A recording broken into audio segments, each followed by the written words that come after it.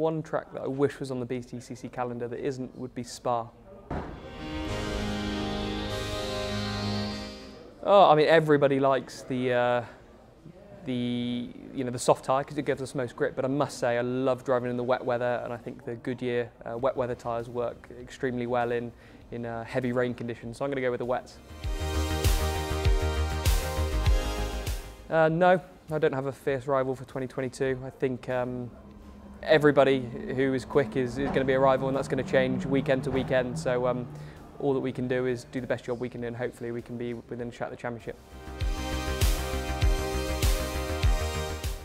Oh, a dream car. Um,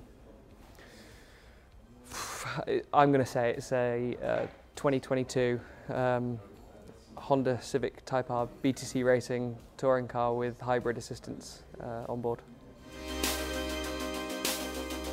My favourite Goodyear tyre is the Eagle F1 Super Sport. Uh, as a racing driver, I'm a huge fan of lots of grip, uh, and that offers an incredible amount, and it's a, an ultra high performance road tyre that um, allows me to get the, get the most out of the car I'm driving.